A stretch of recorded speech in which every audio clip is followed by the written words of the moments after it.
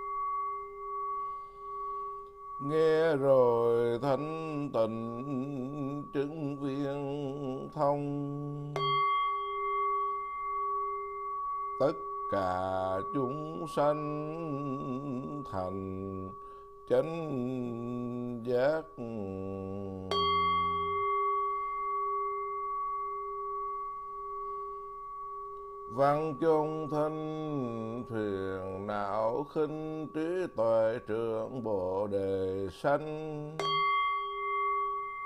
Ly địa ngục xuất hỏa khánh nguyện thành phật độ chúng sanh.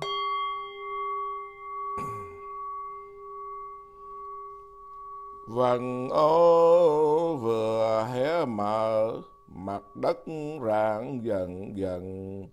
Mắt ló bao màu sắc tâm vương mỗi cảnh trần đừng tham ôm xác thịt, hãy sớm cất đầu ngân sao niệm luôn luôn nhớ mong cầu hợp nẻo chân.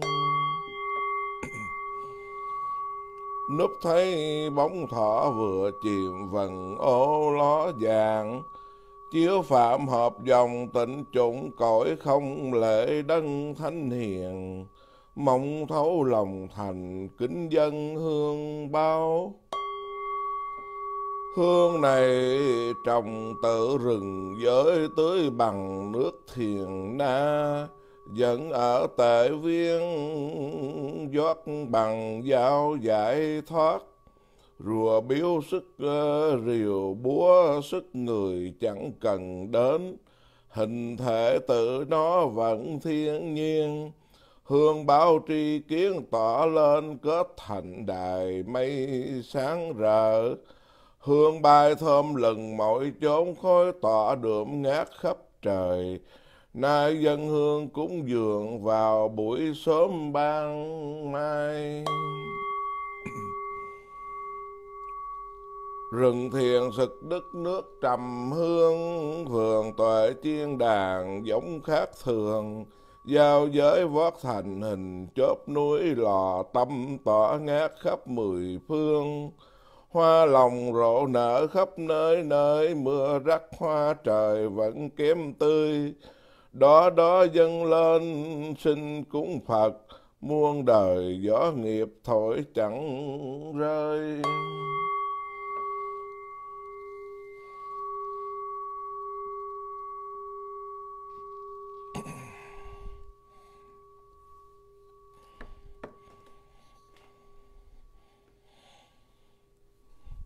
Đấng Pháp Vương vô thượng ba cõi, chẳng ai bằng Thầy giải khắp trời người cha lành chúng bốn loài. Quy y tròn một niệm dứt sạch nghiệp ba kỳ, xứng dương và tán thang ức kiếp không cùng tận. Chi tâm đành lại mười phương tận hư không biện pháp giới ba đời chư Phật quá khứ hiện tại cùng vị lai.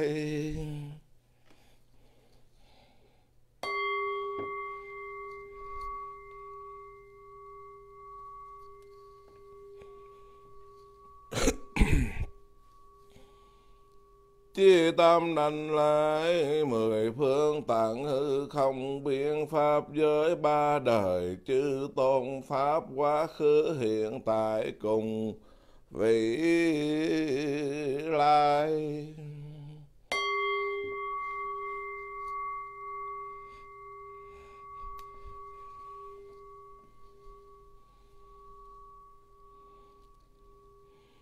Chí tâm đành lễ mười phương tầng ngữ không biên pháp giới. Chư thiền thánh tăng ba đời, quá khứ, hiện tại, cùng vĩ lai.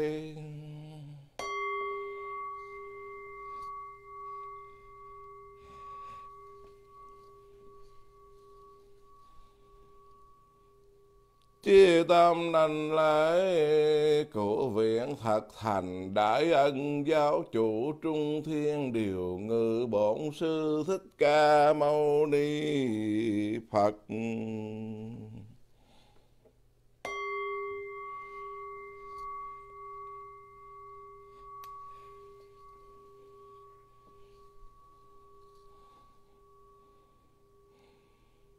Chi tâm đành lễ Tây Thiên Đông Độ Việt Nam Hải ngoại lịch đại chư vị tổ sư.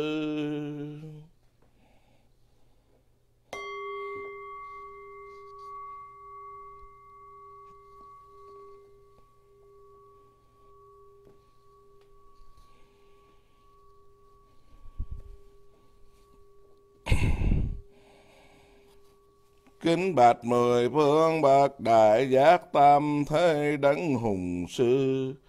Sôi đuốc tuệ nẻo tối tâm thả bìa thiện tự vào biển khổ.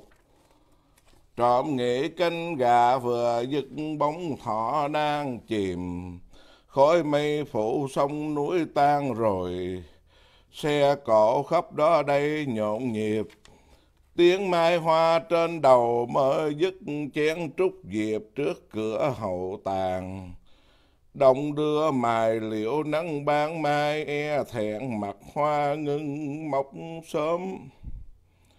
Gặp buổi tươi sáng, thương kẻ ngu mê. Trong đêm giấc mộng đã lờ mờ, thức dậy trong lòng còn rạo rực mắt tai mãi theo thanh sắc, mũi lưỡi say đắm vị hương. Nhà lửa nung nấu triền miên, sông ái đắm chìm mãi mãi. Mặc dầu sáng nay người tỉnh thức cũng như đêm trước kẻ say mê. Chẳng lo sanh già ôm chết lâm le, chỉ bận vợ con tiền tài trói buộc. Chúng con thấy rằng cùng kêu gọi các Phật tử thân này chẳng vững, mạng cũng khó yên. Phàm kẻ trên đầu đội trời tránh sao ánh mắt rơi đất.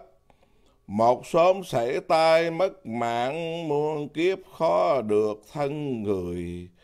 Cần phải mau mau gieo giống lành đừng có khư khư tìm quả ác Mọi người hãy tỉnh gấp ai nấy lo siêng tu, dốc lòng đảnh lễ vô thượng từ dung trước mắt thấy đại quang minh tàng.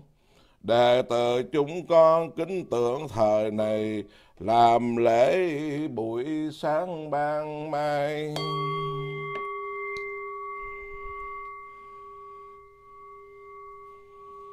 Chi tâm sám hối, đệ tử chúng con dốc lòng sám hối, kể từ vô thể vô lượng kiếp rồi, bỏ mất bản tâm chẳng theo chánh đạo, đọa ba đường khổ bởi sáu căn lầm, Trước chẳng sám trừ sao ăn năn không kịp.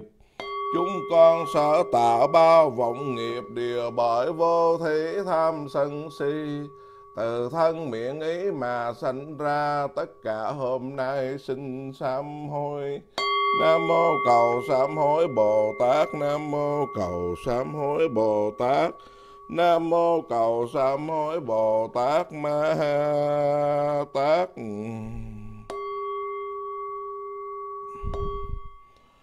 Khuyến thỉnh mười phương tam thế Phật cùng chư Bồ Tát Thánh Hiền Tăng. Mở lòng từ bi rộng vô cùng, độ hết chúng sanh lên bờ giác. Con nay theo Phật xin quan hỷ sớm hôm thành tâm sám lỗi lầm. Thiềm than thập địa nguyện bước lên Bồ đề chân tâm không thối truyền. Chúng con hồi tâm nương thánh chúng cúi đầu đảnh lễ đấng từ tôn. Nguyện đem công đức tới quần sanh nhờ nhân tốt này thành chánh giác. Trước Phật đài con xin phát nguyện cõi ta bà thị hiện độ sanh. Thọ trì đọc tụng chân kinh quyết lòng tế độ chúng sinh muôn đời.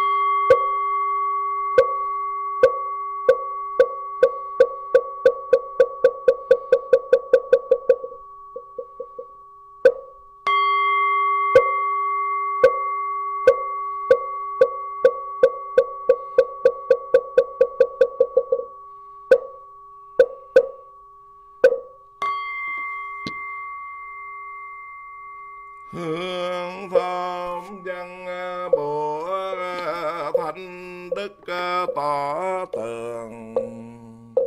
Mười phương sư phật chứng minh tường à, tất cả chư bồ tát xót thương. Kinh lễ pháp trung vương à, nam mô hương cúng bồ tát à, nam mô hương cúng dường bồ tát nam mô hương cúng dường bồ tát ma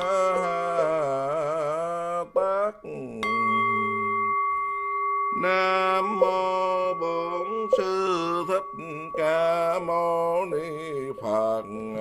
Nam sư thích ca mâu ni phật.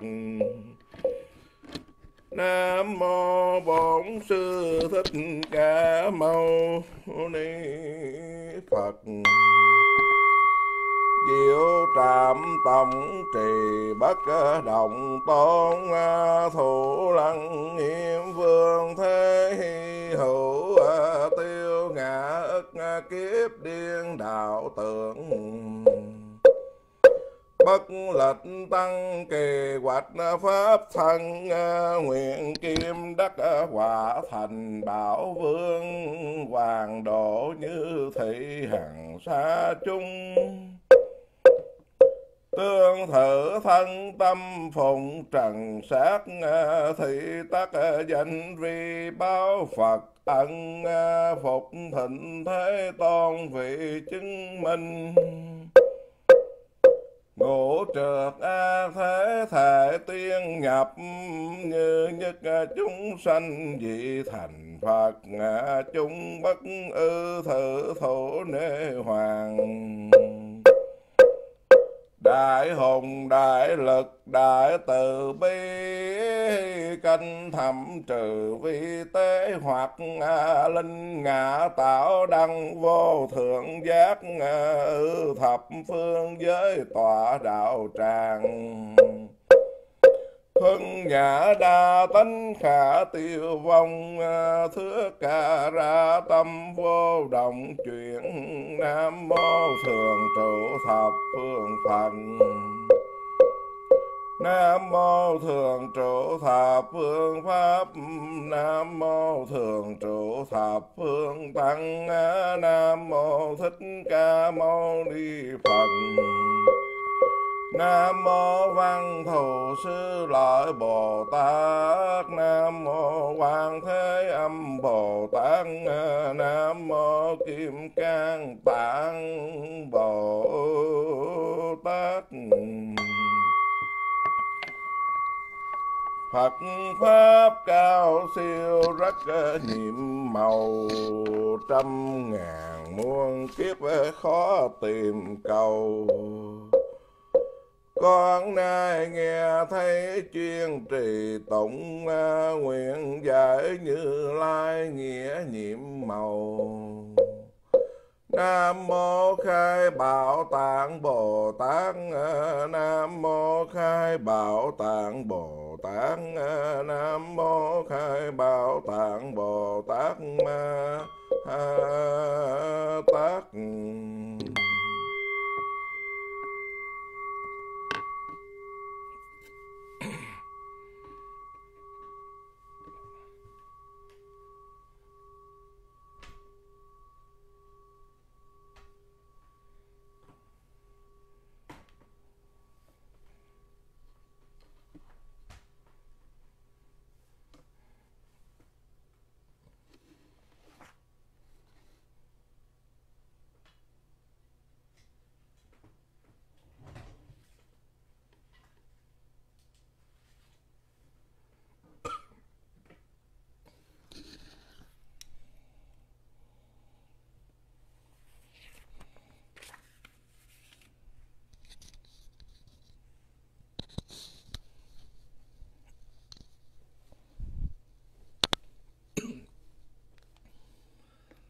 Nam mô Bổn Sư Thích Ca Mâu Ni Phật. Nam mô Bổn Sư Thích Ca Mâu Ni Phật. Nam mô Bổn Sư Thích Ca Mâu Ni Phật.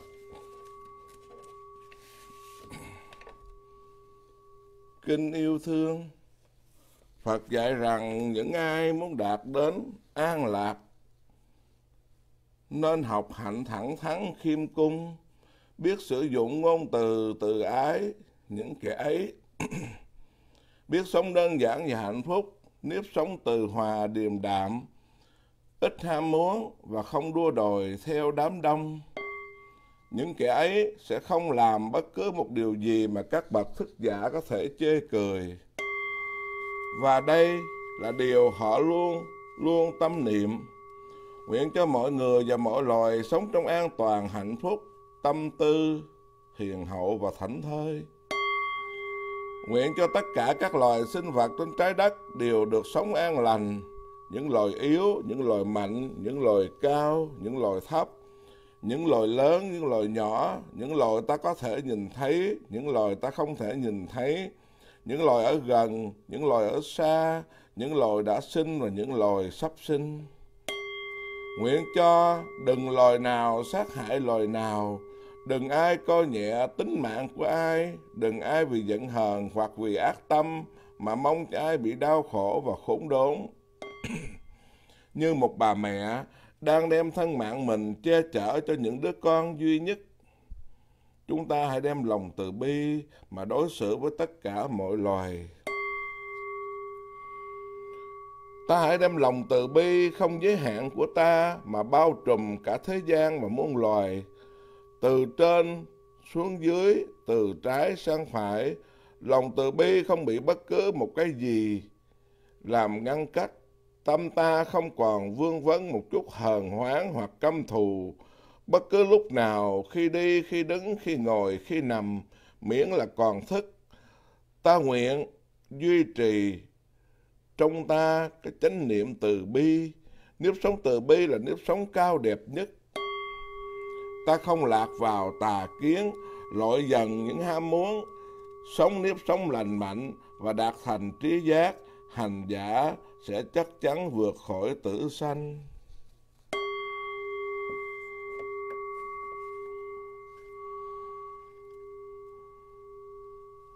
Hôm nay là ngày trưởng tịnh. Con xin thọ trì đọc tụng lại giới Pháp Bồ Tát mà Đức Thế Tôn đã từng dạy. Thời ấy Đức Thích Ca Mâu Ni lúc mới thành đạo vô thượng chánh giác, trong khi ngồi dưới cội Bồ Đề, Ngài bắt đầu kiết giới Bồ Tát dạy rằng hiếu thuận với cha mẹ, với sư tăng, với tam bảo, hiếu thuận là pháp chế đạo, hiếu gọi là giới, cũng gọi là cấm ngăn. Liền đó, từ nơi miệng Đức Phật phóng ra vô lượng tia sáng bây giờ có đến trăm ngàn vạn ức đại chúng các Bồ Tát, 18 phẩm Thiên, sáu cõi trời dục, 16 đại quốc vương đồng chấp tay chí tâm mà nghe Đức Phật tụng giới pháp đại thừa của tất cả chư Phật. Đức Phật nói với các Bồ Tát, ta nay cứ mỗi nửa tháng tụng giới pháp của chư Phật, tất cả hàng Bồ Tát sơ phát tâm nhận đến các Bồ Tát thập phát thú, thập trưởng dưỡng, thập kim cương, thập địa, cũng tụng giới này. Vì thế nên giới quan từ miệng ta phóng ra. Phóng quan là vì có duyên do chứ chẳng phải vô cớ. Giới quan ấy chẳng phải màu xanh vàng đỏ trắng và đen chẳng phải sắc pháp cũng chẳng phải tâm pháp chẳng phải pháp hữu pháp vô cũng chẳng phải pháp nhân pháp quả. Nó chính là bổn nguyện của chư Phật là căn bản của chúng Phật tử. Vì thế nên chúng Phật tử phát nguyện thọ trì độc tụng phải học kỹ giới pháp này. Chúng Phật tử lắng nghe Đức Phật bảo các Phật tử rằng có 10 giới trọng, nếu người thọ giới Bồ Tát mà không tụng điều giới này, thời người ấy không phải là Bồ Tát, không phải là Phật tử, cũng chính ta cũng tụng như vậy.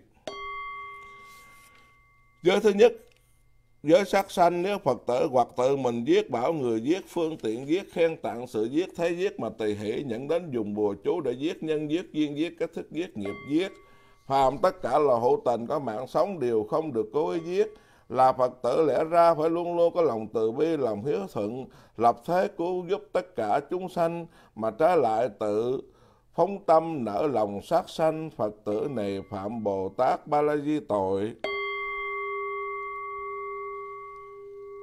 Với trộm cướp thứ hai, nếu Phật tử tự mình trộm cướp bảo người, trộm cướp phương tiện, trộm cướp dẫn đến dùng bùa chú, trộm cướp nhân, trộm cướp duyên, trộm cướp có thức, trộm cướp nghiệp, trộm cướp. Tất cả tài vật có chủ dầu là của quỷ thần hay của kẻ giặc cướp dẫn đến một cái kim, một ngọn cỏ đều không được trộm cướp. Là Phật tử lẽ ra phải luôn luôn có lòng từ bi, lòng hiếu thuận, thường giúp cho mọi người được phước, được vui, mà trái lại trộm cướp tài vật của người Phật tử này phạm Bồ Tát Ba La Di tội.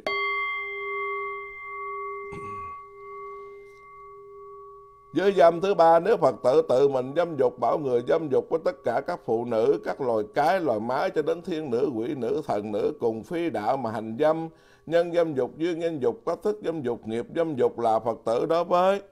Tất cả không được cố dâm dục, lẽ ra phải có lòng hiếu thuận cứu độ tất cả chúng sanh, đem pháp thanh tịnh khuyên dạy người mà trở lại không có tâm từ bi, làm cho mọi người sanh việc dâm dục không lựa là xuất sanh cho đến hành dâm với mẹ với con với chị em trong lục thân Phật tử này phạm Bồ Tát Ba La Di tội.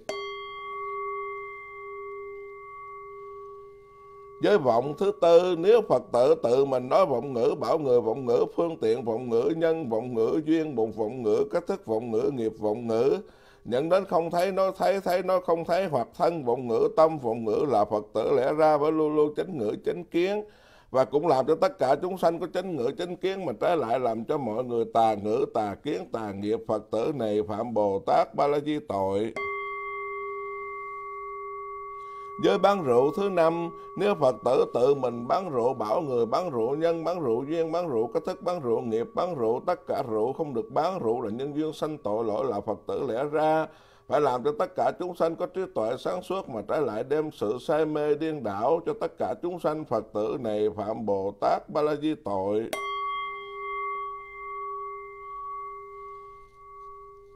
Giới rao nói tội lỗi của tứ chúng thứ sáu nếu Phật tử tự mình rao nói tội lỗi của Bồ Tát xuất gia, Bồ Tát tại gia, tỳ kheo, tỳ kheo ni hoặc bảo người rao nói những tội lỗi nhân rao nói tội lỗi nghiệp rao nói tội lỗi cách thức rao nói tội lỗi duyên rao nói tội lỗi là phật tử khi nghe những kẻ ác ngoại đạo cùng người nhị thừa nói những điều phi pháp trái luật trong phật pháp.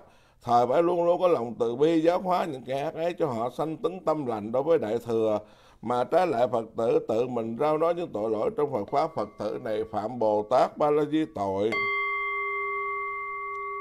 Giới tự khen mình chê người thứ bảy Nếu Phật tử tự khen mình chê người Cũng bảo người khác khen ngợi mình chê người Nhân chê người, duyên chê người Cách thức chê người, nghiệp chê người là Phật tử lẽ ra Phải thay thế chịu những sự khinh chê khổ nhục của tất cả chúng sanh Mình nhận lấy việc xấu Nhường cho người việc tốt. Nếu Phật tử tự phô trương tài đức của mình Mà dìm che điều hay tốt của người Làm cho người bị khinh chê Phật tử này phạm Bồ Tát Ba La Di tội. Với bọn sẻn thêm mắng đuổi thứ tám nếu Phật tử tự mình bọn sẻn bảo người bọn sẻn nhân, bọn sẻn duyên, bọn sẻn cách thức, bọn sẻn nghiệp, bọn sẻn Phật tử khi thấy những người bằng cùng đến cầu xin phải cấp cho theo chỗ cần dùng của họ mà Phật tử lại đem lòng giận ghét cho đến không cho một mãi có người đến cầu học giáo pháp cũng chẳng nói một kệ một câu lại còn xua đuổi quả mắng Phật tử này phạm Bồ Tát Ba La Di tội. Giới giận hờn không ngôi nếu Phật tử tự mình giận bảo người giận nhân, giận duyên, giận cái thức, giận nghiệp, giận người Phật tử lẽ ra phải làm cho tất cả chúng sanh được những căn lành không gây gỗ. Thường có lòng từ bi, lòng hiếu thuận mà trái lại đối với trong tất cả chúng sanh cho đến loài phi chúng sanh đem lời ác nhục mạ. Còn thêm dùng tay chân dao gậy để đánh đập mà vẫn chưa hạ dạ cho đến nạn nhân kia lấy lời nhỏ nhẹ, xin lỗi. Cầu sám hối tạ tội nhưng vẫn lòng không hết giận Phật tử này phạm Bồ Tát Ba La Di tội.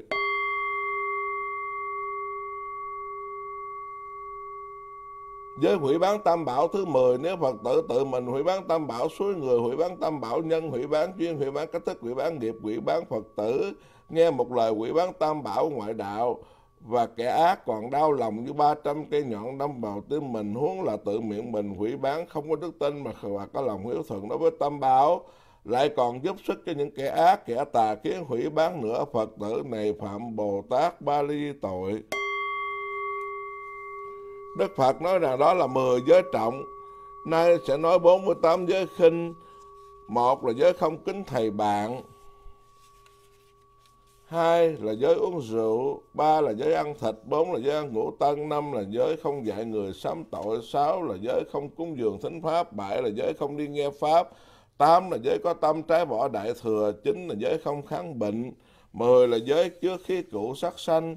11 là giới đi sứ, 12 là buôn bán phi pháp, 13 là giới hủy bán, 14 là giới phóng hỏa, 15 là giới dạy giáo lý ngoài đại thừa, 16 là giới vì lợi mà giảng pháp lộn lạo, 17 là giới cậy quyền lực, quyền thế lực quyền tải, 18 là giới không hiểu mà làm thầy truyền giới, 19 là giới nói lưỡi đôi chiều, 20 là giới không phóng sanh, 20 là giới đem sân báo sân đem đánh trả đánh, 20 20, 21 là giới kêu mạng không thính pháp 22 là giới khinh ngạo không tận tâm dạy. 23 giới không học tập đại thừa 24 giới tri chúng dụng về 25 giới thọ lợi dưỡng. 26 giới thọ biệt thịnh 27 giới biệt thịnh tăng. 28 giới tà mạng nuôi sống. Giới quản lý cho bạch y, giới không mua chuộc, giới tổn hại chúng sanh, giới tà nghiệp giác quán, giới tạm bỏ vào đề tâm, giới không phát nguyện, giới không phát thệ giới vào chỗ hiểm nạn, giới trái tôn ti trật tự, giới không tu phước tuệ. Giới không bình đẳng mà truyền giới giới vì lợi mà làm thầy. Giới vì người ác mà giảng giới giới không cúng dường kinh luật. Giới không giáo hóa chúng sanh, giới thiết pháp không đúng pháp, giới chế hạn phi pháp và giới diệt pháp phật pháp nếu phật tử do vì lòng tốt, xuất gia lại vì danh tiếng cùng tài lợi, giảng thuyết giới của phật cho quốc vương và các quan làm những sự gông có tỳ kheo tỳ kheo ni, người thọ giới bồ tát cái cánh cửa ngục tù và binh nô như trùng trong thân sư tử, ăn thịt sư tử cho chẳng phải trùng ở ngoài đến ăn. Cũng thấy các phật tử tự hủy phá phật pháp, không phải ngoại đạo hay thiên ma mà phá được. Người đã thọ giới của phật đến hộ trì giới luật như của Phật như ấp yêu con một như kính thờ cha mẹ không được hủy phá. Người Phật tử khi nghe ngoại đạo người ác dùng lời nói xấu quỷ bán giới pháp của Phật Thời đau đớn không khác nào, cả ba trăm cây giáo nhọn đâm vào tim mình, hay cả ngàn lưỡi dao, cả vạn cây gậy đánh bổ vào thân mình. Thà tự cam vào địa ngục đến trăm kiếp chứ không muốn nghe lời quỷ bán giới pháp của Phật do bọn người ác. Huống là không dùng lòng hiếu thuận tự mình quỷ phá giới pháp của Phật, hay làm nhân duyên bảo người khác quỷ phá. Nếu cố phá giới pháp Phật tử này phạm kinh cấu tội. Đức Phật dạy đó là 48 điều giới khinh. Các ngươi phải thọ trì, chứ Bồ Tát thời quá khứ đã tụng Bồ Tát thời vị lai sẽ tụng và Bồ Tát hiện tại đương tụng Người trí nhiều định tuệ thọ trì được cái này lúc còn chưa thành Phật được hưởng năm điều lợi. Một là mười phương Phật thương tưởng hộ trì luôn. Hai là lúc lâm chung chánh niệm lòng vui vẻ. Ba là sanh ở chỗ nào cũng cùng với chư Bồ Tát làm bạn. Bốn là những công đức giới độ thành điều thành tựu năm đời này đời sau đủ giới và phước tuệ. Đây là các Phật tử, người trí khéo nghĩ lường. Kẻ phàm phu thì chấp ngã không thể được pháp này. Người trầm không trệ tịch cũng không gieo giống được. Muốn nảy mầm bồ đề, trí tuệ soi thế gian phải nên quan sát kỹ thật tứ các pháp, không sanh cũng không diệt, không thường lại không đoạn, chẳng đồng, chẳng khác, chẳng đến cũng chẳng đi. Trong thể nhất tâm ấy, xuyên tu tập trang nghiêm công hạnh của Bồ Tát, phải từng tự học tập nơi học nơi vô học, chớ mong tưởng phân biệt. Đấy là đệ nhất đạo, cũng gọi là pháp đại thừa. Hết thảy lỗi hí luận đều từ đây dứt sạch. Vô thượng trí của phật đều do đây mà thành. Vì thế nên phật tử phải phát tâm dũng mãnh, nghiêm trì giới của phật. Tròn sạch như minh châu, chứ bồ tát quá khứ đã từng học giới này, hàng vị lai sẽ học. Người hiện tại đương học, đây là đường phật đi, là chỗ phật khen ngợi. Ta đã giảng giới xong, phước đức nhiều vô thượng lượng hồi hướng của chúng sanh đồng đến nhất thiết trí nguyện ai nghe pháp này đều được thành phật đạo Nam mô Bổn sư Thích Ca Mâu Ni Phật. Nam mô Bổn sư Thích Ca Mâu Ni Phật. Nam mô Bổn sư Thích Ca Mâu Ni Phật.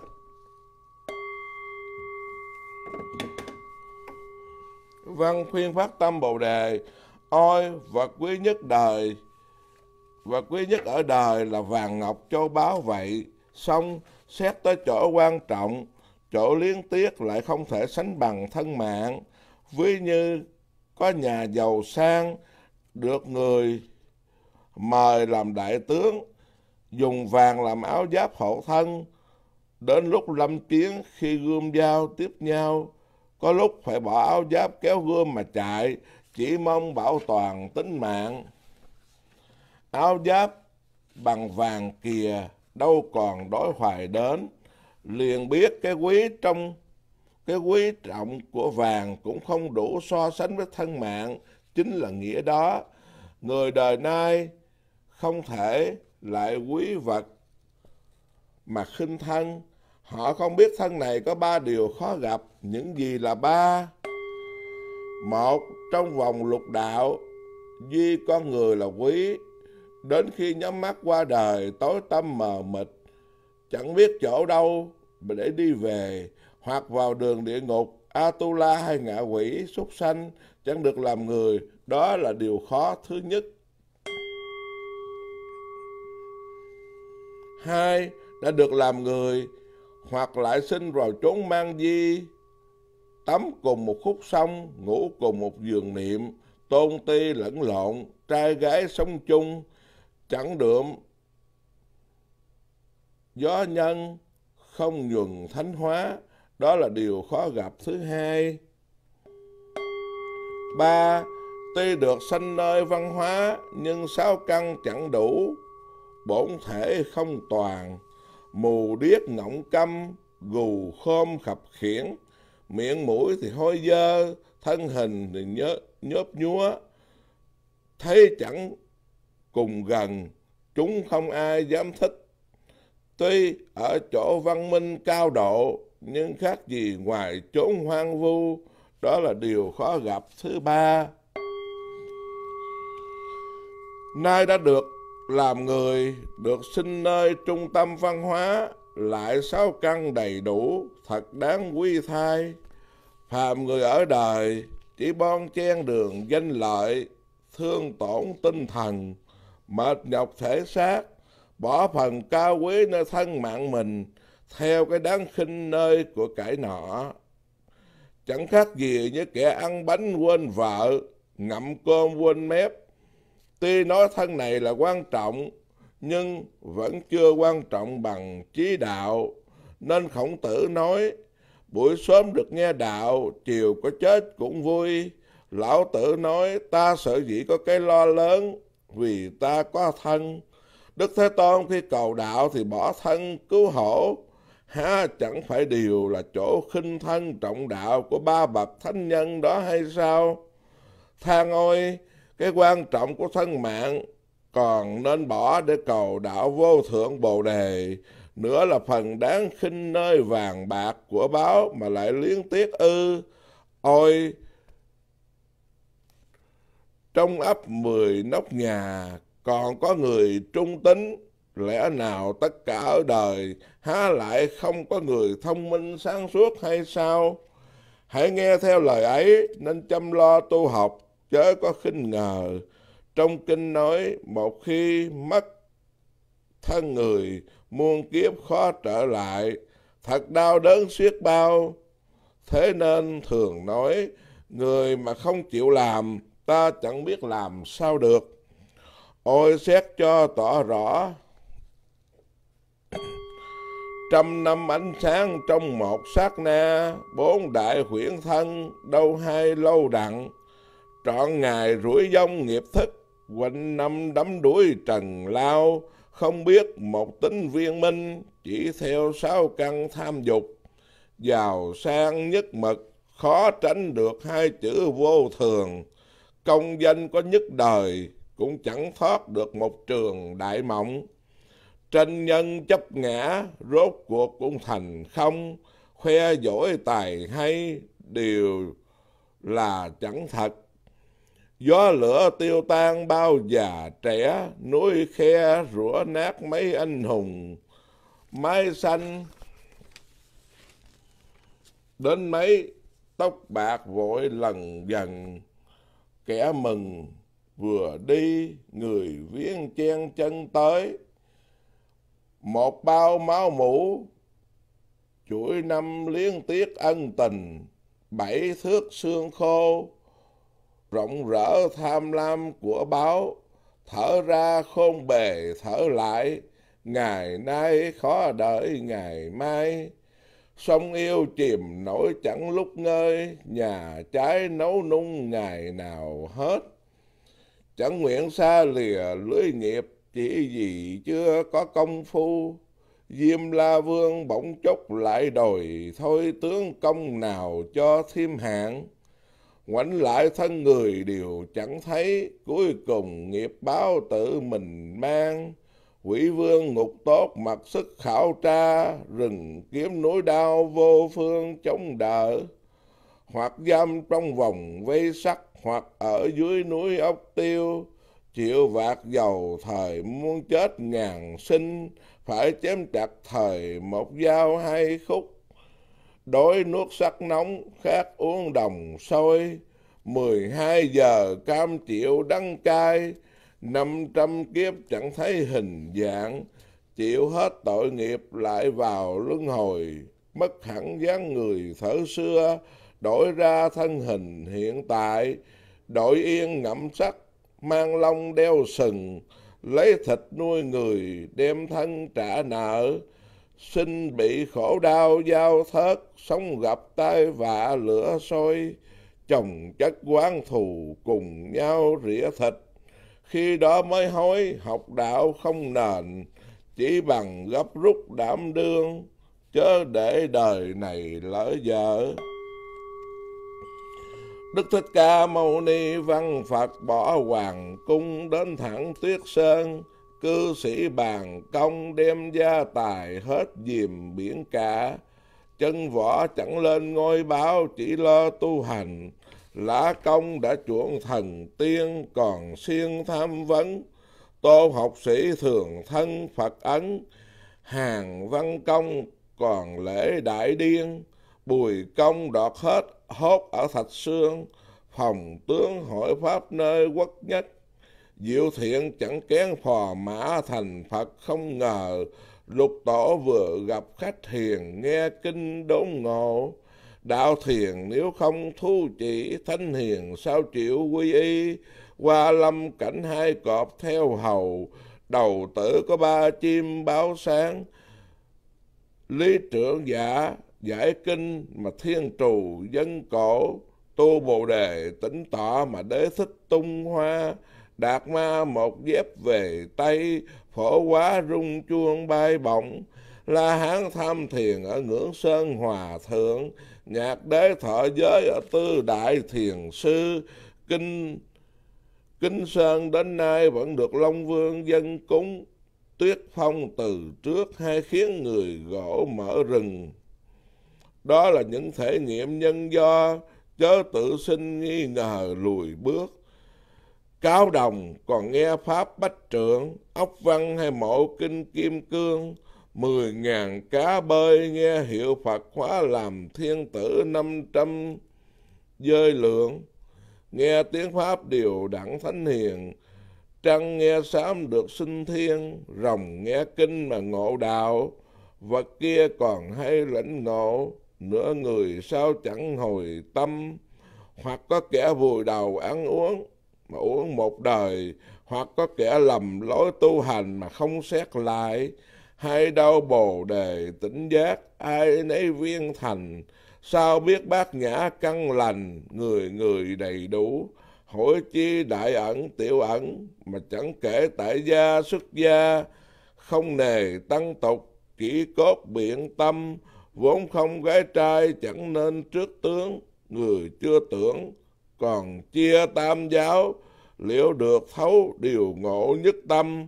Nếu hai chiếu sáng rọi về, đều được thấy tánh thành phật. Lại nữa thân người dễ mắc, phật pháp khó nghe. Muốn vượt sáu ngã mãi soi tròn, chỉ có nhất thừa là đường tắt nên tìm chính mình chớ tin tà sư. Ngộ đạo chính là chỗ vào, làm xong mới hay mình thoát tục. Bước vào, xéo đạp thực địa, đầu đầu mang đổi hư không. Khi dùng thời muôn cảnh điều ngộ, thu lại thời mãi mãi hết sạch. Vượt lên chỗ chẳng tương quan sinh tử, thấu tới cơ khó thấu hiểu quỷ thần là phàm là thánh cùng vào một đường, hoặc quán hoặc thân cùng chung hỏng mũi. Thật ngộ như thế còn trễ nửa đường. Ngưng nói hướng thượng tam huyền, cần rõ một bước sao chót. Hãy nói tức là hiện nay, gọi cái gì là một bước sao chót. Non xanh thanh thản nhìn trời rộng, sen biết ngạt ngào đượm nước hương chúng con hiện tiền tâm thanh tịnh, thọ trì giới pháp, đọc tụng kinh. Xin nguyện tam bảo và long thiên yểm trợ đạo tràng cùng bốn chúng. Tám nạn ba đường đều thoát khỏi bốn ân, ba cõi thấm hồng ân. Thế giới khắp nơi không chiến tranh bệnh dịch sớm qua, mưa hòa, gió thần đại chúng chuyên tu càng tinh tấn. Mười địa bước lên không thối chuyện, chư tăng an lạc sống giúp đời. Mọi giới quy y thêm phước huệ, trí phật sáng ngời như trăng tòa thân phật thanh tịnh tở lưu ly, phật ở thế gian thường cứu khổ tâm phật thường trụ đại từ bi nam mô bổn sư thích ca mâu ni phật Nam mô Bổn Sư Thích Ca Mâu Ni Phật. Nam mô Bổn Sư Thích Ca Mâu Ni Phật.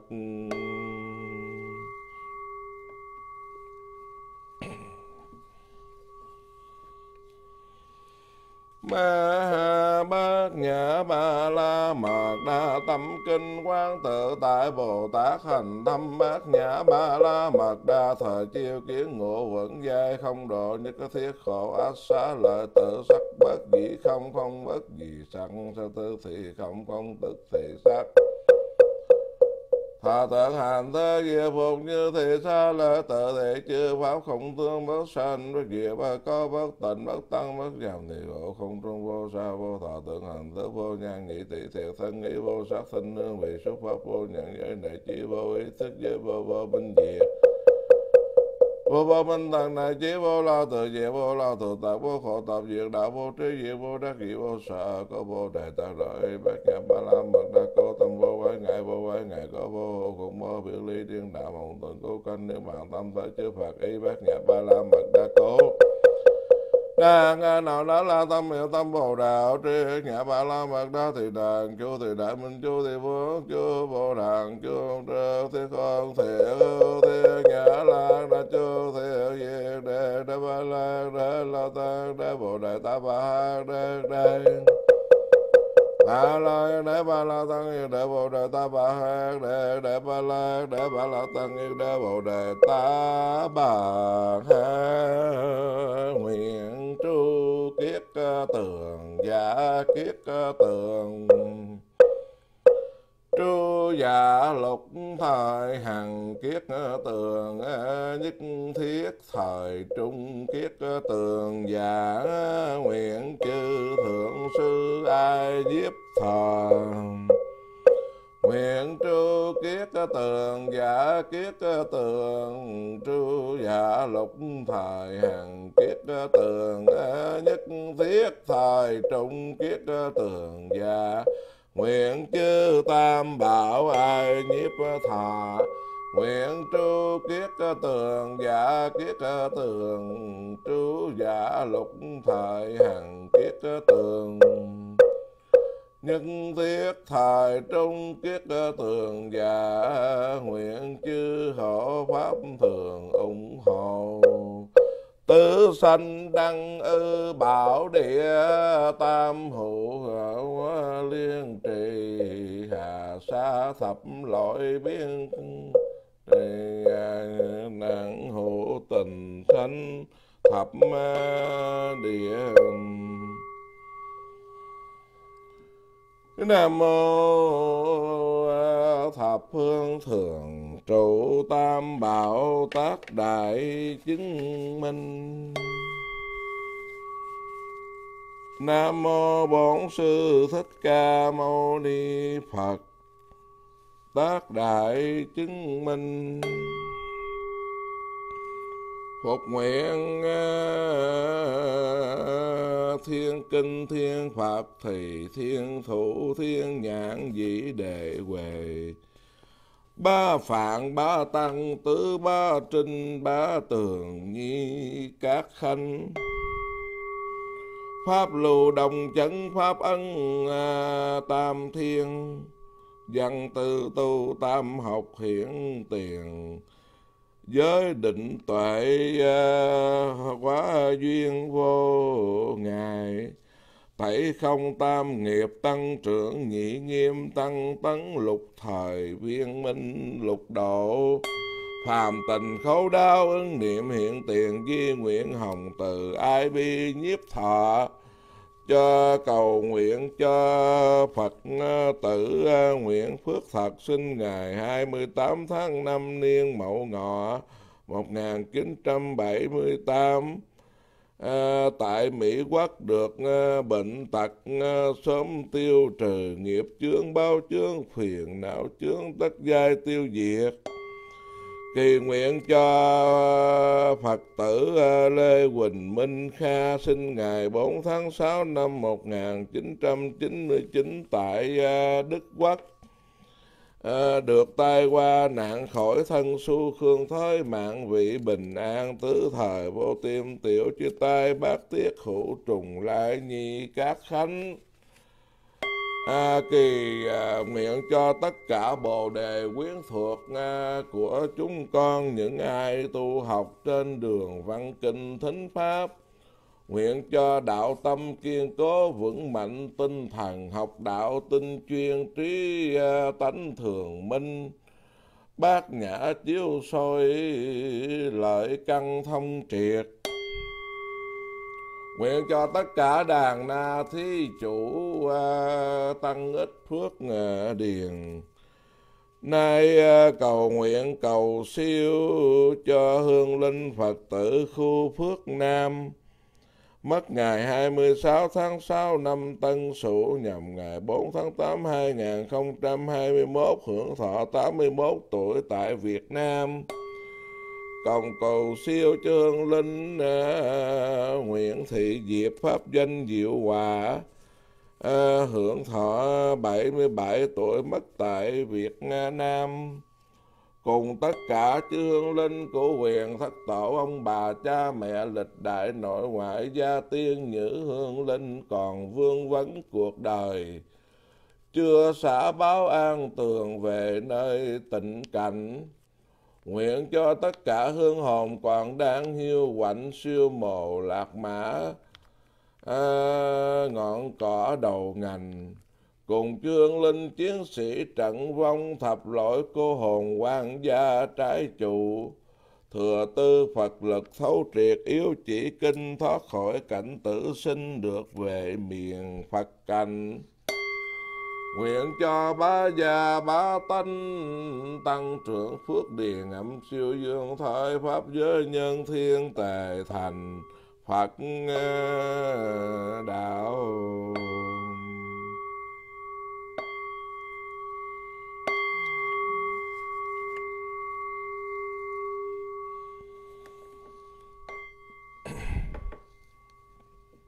Tự quy Phật à, đường nguyện chúng sanh à, thể giải đại đạo. Phát vô thượng tâm à, tự quy pháp, đường nguyện chúng sanh, thâm nhập kinh tạng trí tuệ như hải tự quy tăng đương nguyện chúng sanh à, thông ly đại chúng à, nhân thiết vô ngại. Chúng sanh vô biên thể nguyện độ phiền não vô tận thể nguyện đoạn. Pháp môn vô lượng thể nguyện học. Phật đạo vô thượng thể nguyện à, thành.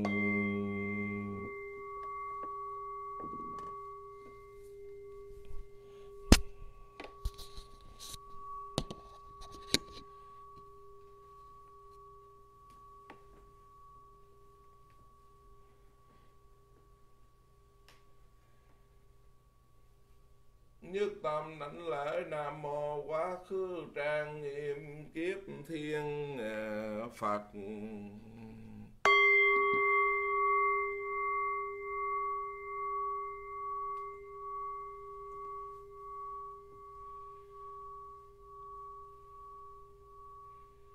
Như tâm đảnh lễ nam mô hiện tại hiền kiếp thiên phật.